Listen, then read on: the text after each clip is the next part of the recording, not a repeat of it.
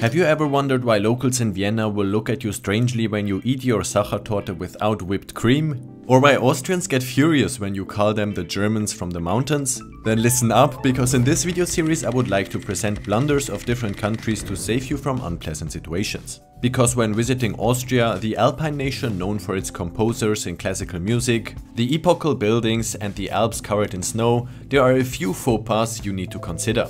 First of all we have the fact that you must not enjoy your Wiener Schnitzel with sauce. So never ever eat Wiener Schnitzel with sauce. What is the fastest way to leave Austria? It's neither the train nor the plane, but eating a Wiener Schnitzel with sauce. You'll be surprised how fast you can find an Austrian who will voluntarily escort you out of the country at this site. A Wiener Schnitzel is always served without sauce, but instead with lemon. Also, the famous Sachertorte is traditionally served with whipped cream, because the interplay between the cool whipped cream on the one hand and the chocolate dough on the other is just too beautiful to miss.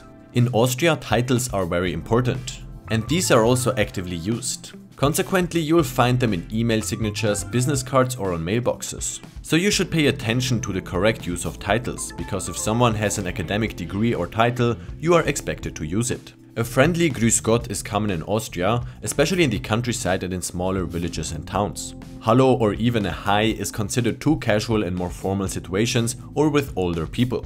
Never dare to refer to Austria as renegade Germany or Bavaria's backyard. Among my videos on Austria I have read countless combinations of such terms. And of course they have no place in the Alpine Republic of Austria. Austria is not small Germany and there are, if you look closer, a lot of cultural differences. The different dialects of Austria should never be trivialized. High German is understood throughout all of Austria, but the provinces have their own dialects and their own expressions, which should not be made fun of, even if they sound cute and are surprisingly creative. It doesn't hurt to familiarize yourself with some local terms. An important etiquette rule in Austria is punctuality. When you have an appointment, be sure to keep to the agreed time. And if you are going to be late, let the other participants know beforehand if you don't want to catch a bad omen. Sunday is generally considered a day of rest in Austria. Most stores are closed on Sundays and it's better if you leave your buzzing lawnmower in the garden shed on that day. After all, it also deserves a day off. The last blunder is to reduce Austria to its capital Vienna. Sure, it's the vibrant capital and economic and cultural center of the country, but you'd be surprised how big the cultural differences can be between downtown Vienna and the Tyrolean mountain village. Austria is not only Vienna, but a big diverse country just waiting to welcome you as a tourist. That's the end of this video and I'd be interested to know which blunders I have forgotten.